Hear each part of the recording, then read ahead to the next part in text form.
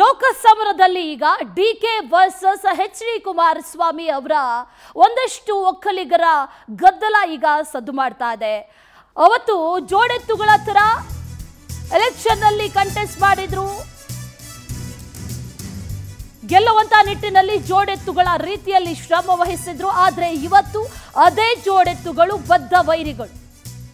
ಒಕ್ಕಲಿಗರ ನಾಯಕತ್ವಕ್ಕಾಗಿ ನಾಯಕರು ಕಾಳಗಕ್ಕಿಳಿದಿದ್ದಾರೆ D K brothers ಅವರನ್ನ ಅಡಿಯೋದಕ್ಕೆ ಪಣ ತೊಟ್ಟಿದ್ದಾರೆ ಕುಮಾರಸ್ವಾಮಿ. ಸಮುದಾಯದ ಮತಗಳು ಕೈ ತಪ್ಪಬಾರದು ಅನ್ನುವಂತ ನಿಟ್ಟಿನಲ್ಲಿ ಒಂದಷ್ಟು ಎಚ್ಚರಿಕೆಯ ಹೆಜ್ಜೆಗಳನ್ನ ಕೂಡ ಇಡಲಾಗ್ತಾ ಇದೆ. ಸಮುದಾಯದ ಎಲ್ಲಾ ಹಾಲಿ ಮಾಜಿ ಶಾಸಕರು, ಜಿಲ್ಲಾ ಪಂಚಾಯತ್, ತಾಲೂಕ್ ಪಂಚಾಯತ್ ಸದಸ್ಯರನ್ನ ನೇರವಾಗಿ ಎಚ್ ಡಿ ಕುಮಾರಸ್ವಾಮಿ ಅವರು ಸಂಪರ್ಕಿಸ್ತಾ ಇದ್ದಾರೆ. ಲೋಕಸಮರವನ್ನ ಗೆಲ್ಲೋದಕ್ಕೆ ಈಗ ಎಚ್ ಡಿ ಕುಮಾರಸ್ವಾಮಿ ಎಮೋಷನಲ್ ಆಗಿ ಕಾರ್ಡ್ ಪ್ಲೇ ಮಾಡ್ತಾ ಇದ್ದಾರೆ. ಹಳೆ ಮೈಸೂರು ಭಾಗದಲ್ಲಿ ಒಕ್ಕಲಿಗ ಮತಗಳೇ ಬಹಳ ನಿರ್ಣಾಯಕ, ಬಹಳ ಪ್ರಮುಖ ಪಾತ್ರವನ್ನು ವಹಿಸುತ್ತೆ. ಆ ನಿಟ್ಟಿನಲ್ಲಿ ಸಮುದಾಯದ ನಾಯಕತ್ವ ಕೈ ತಪ್ಪಿದ್ರೆ ರಾಜಕಾರಣಕ್ಕೆ ಬಹಳ ದೊಡ್ಡ ಏಟು ಬೀಳುತ್ತೆ ಅನ್ನುವಂಥದ್ದನ್ನ ಮನಗಂಡಿರುವಂತಹ ಕುಮಾರಸ್ವಾಮಿ ಈಗ ಒಂದಷ್ಟು ಎಮೋಷನಲ್ ಕಾರ್ಡ್ ಪ್ಲೇ ಮಾಡ್ತಾ ಇದ್ದಾರೆ. ಸಮುದಾಯದ ಮತಗಳನ್ನ ಪಡೆಯುವಂತಹ ನಿಟ್ಟಿನಲ್ಲಿ ಒಂದಷ್ಟು ಕಾರ್ಯಗಳನ್ನ ಮಾಡ್ತಾ ಇದ್ದಾರೆ. ತಾವೇ ಖುದ್ದಾಗಿ ತಾಲೂಕ್ ಪಂಚಾಯತ್ ಸದಸ್ಯರಾಗಿರ್ಬೋದು, ಜಿಲ್ಲಾ ಪಂಚಾಯತ್ ಸದಸ್ಯರಾಗಿರ್ಬೋದು, ಜೊತೆಗೆ ಮಾಜಿ ಶಾಸಕರಾಗಿರ್ಬೋದು, ಹಾಲಿ ಆಗಿರ್ಬೋದು, ಅವರೆಲ್ಲರನ್ನೂ ಕೂಡ ತಾವೇ ಖುದ್ದಾಗಿ ಕೆಲವೊಬ್ಬರನ್ನ ಭೇಟಿ ಕೂಡ ಮಾಡಿದ್ದಾರೆ. ಅನೇಕ ವರ್ಷಗಳಿಂದ ಭೇಟಿ ಮಾಡದೇ ಇರುವಂಥ ನಾಯಕರನ್ನ ಕೂಡ ಭೇಟಿ ಮಾಡಿಕೊಂಡು ಖುದ್ದಾಗಿ ಅವರೇ ಈಗ ಎಮೋಷನಲ್ ಕಾರ್ಡ್ ಅನ್ನ ಪ್ಲೇ ಮಾಡ್ತಾ ಇನ್ನು D K Shivakumar, H D Kumaraswamy ಅವರಿಗೆ ಅಗ್ನಿ ಪರೀಕ್ಷೆಯಾಗಿದೆ ಈ ಬಾರಿಯ ಲೋಕಕದನ ಮಂಡ್ಯ ಹಾಸನ ಕೋಲಾರದಲ್ಲಿ ಗೆಲ್ಲದೇ ಇದ್ರೆ ಪಕ್ಷದ ಅಸ್ತಿತ್ವದ ಭೀತಿ ಕೂಡ ಇದೆ. ಜೊತೆಗೆ ಬೆಂಗಳೂರು ಗ್ರಾಮಾಂತರವೂ ಕೂಡ ಎಚ್ ಡಿ ಕುಮಾರಸ್ವಾಮಿ ಅವರಿಗೆ ಪ್ರತಿಷ್ಠೆಯ ಪ್ರಶ್ನೆ. ಡಿ ಕೆ ಶಿವಕುಮಾರ್ಗೆ ಮೂರು ಕ್ಷೇತ್ರ ಗೆಲ್ಲದೇ ಇದ್ರೆ ತಮ್ಮ ಸಿಎಂ ಕನಸು ಕೂಡ ಭಗ್ನ ಆಗುವಂತ ಆತಂಕ ಕೂಡ ಇದೆ. ಪ್ರತಿಷ್ಠೆಗೆ ಬಿದ್ದಿದ್ದಾರೆ ಉಭಯ ನಾಯಕರು, ತಂತ್ರ ಪ್ರತಿತಂತ್ರಗಳನ್ನ ಕೂಡ ಮಾಡ್ತಾ ಇದ್ದಾರೆ. ಈ ವಿಚಾರಕ್ಕೆ ಸಂಬಂಧಪಟ್ಟಂತೆ ಮತ್ತಷ್ಟು ಡೀಟೇಲ್ಸ್ ಅನ್ನ ನೀಡ್ತಾ ಹೋಗ್ತಾರೆ ನಮ್ಮ ಪ್ರತಿನಿಧಿ ಆನಂದ್ ದೂರವಾಣಿ ಸಂಪರ್ಕದಲ್ಲಿದ್ದಾರೆ. ಆನಂದ್, ಈ ಬಾರಿಯ ಎಲೆಕ್ಷನ್ ಇದೆಯಲ್ಲ, ಬಹಳ ಪ್ರತಿಷ್ಠೆಯ ಕದನ ಹಲವಾರು ನಾಯಕರಿಗೆ, ಅದರಲ್ಲಿ ಎಚ್ ಡಿ ಕುಮಾರಸ್ವಾಮಿ ಹಾಗೆ ಡಿ ಕೆ ಶಿವಕುಮಾರ್ಗೂ ಕೂಡ ಇದು ಪ್ರತಿಷ್ಠೆಯ ಕದನ. ಒಂದಷ್ಟು ಕ್ಷೇತ್ರಗಳು ಬಹಳ ಪ್ರತಿಷ್ಠೆಯಾಗಿಯೂ ಕೂಡ ಪರಿಣಮಿಸ್ತಾ ಇದೆ.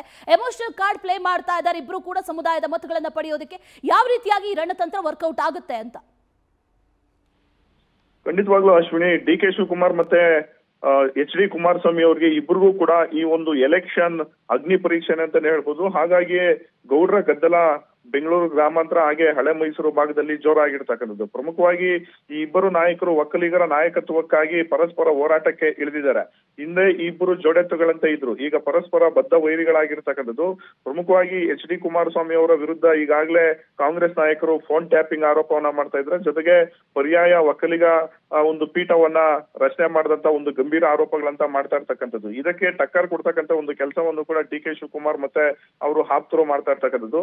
ಪ್ರಮುಖವಾಗಿ ಎಚ್ ಡಿ ಕುಮಾರಸ್ವಾಮಿ ಅವರು ತಮ್ಮ ಅಸ್ತಿತ್ವಕ್ಕಾಗಿ ಹೋರಾಟ ಮಾಡಬೇಕಾದಂತ ಒಂದು ಪರಿಸ್ಥಿತಿ ಈಗ ನಿರ್ಮಾಣ ಆಗಿದೆ. ಬೆಂಗಳೂರು ಗ್ರಾಮಾಂತರ, ಹಾಸನ, ಮಂಡ್ಯ, ಕೋಲಾರ ಈ ಒಂದು ನಾಲ್ಕು ಕ್ಷೇತ್ರಗಳಲ್ಲಿ ಕೂಡ ಗೆದ್ರೆ ಅಷ್ಟೇ ಮುಂದೆ ಜೆಡಿಎಸ್ಗೆ ಅಸ್ತಿತ್ವ ಇರುತ್ತೆ. ಈ ನೆಲೆಯಲ್ಲಿ ಎಚ್ ಡಿ ಕುಮಾರಸ್ವಾಮಿ ಅವರು ತಮ್ಮದೇ ಆದಂತ ಒಂದು ರಣತಂತ್ರವನ್ನ ಮಾಡ್ತಾ ಇದ್ದಾರೆ.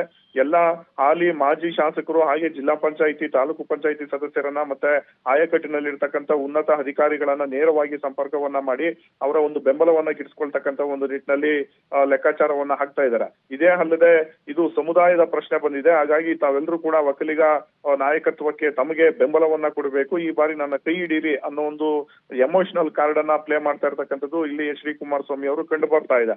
ಜೊತೆಗೆ ಪದೇ ಪದೇ ನಿರ್ಮಲಾನಂದ ಶ್ರೀಗಳನ್ನ ಭೇಟಿ ಮಾಡಿ ಬಿಜೆಪಿ ನಾಯಕರನ್ನ ಕರೆದುಕೊಂಡು ಹೋಗಿ ಬೇರೆ ರೀತಿಯದ್ದೇ ಒಂದು ತಂತ್ರಗಾರಿಕೆಯನ್ನ ಮಾಡ್ತಾ ಇದ್ದಾರೆ. ಈ ಕಡೆ ಡಿ ಕೆ ಶಿವಕುಮಾರ್ ಅವ್ರಿಗೂ ಕೂಡ ಒಂದು ಅಸ್ತಿತ್ವದ ಪ್ರಶ್ನೆ ಉಂಟಾಗಿರ್ತಕ್ಕಂಥದ್ದು. ಅವರು ಕೂಡ ಬೆಂಗಳೂರು ಗ್ರಾಮಾಂತರ ಹಾಗೆ ಬೆಂಗಳೂರಿನ ಮೂರು ಕ್ಷೇತ್ರಗಳನ್ನ ಗೆಲ್ಲಲೇಬೇಕಾದಂತ ಒಂದು ಪರಿಸ್ಥಿತಿಗೆ ಮುಂದಾಗಿದ್ದಾರೆ. ಈಗಾಗಲೇ ಬೆಂಗಳೂರು ಉಸ್ತುವಾರಿ ಆಗಿರ್ತಕ್ಕಂಥ ಡಿ ಕೆ ಶಿವಕುಮಾರ್ ಅವರು ಈ ಕ್ಷೇತ್ರಗಳನ್ನ ಗೆದ್ರೆ ಅಷ್ಟೇ ಮುಂದೆ ಅವರ ಸಿಎಂ ಕನಸು ನನಸಾಗ್ತಕ್ಕಂಥ ಒಂದು ಸಾಧ್ಯತೆ ಇದೆ.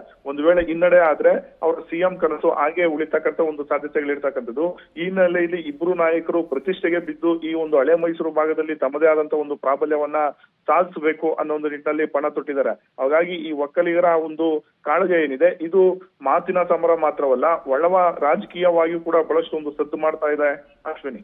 Okay Anand thank you ಡೀಟೇಲ್ಸ್ಗೆ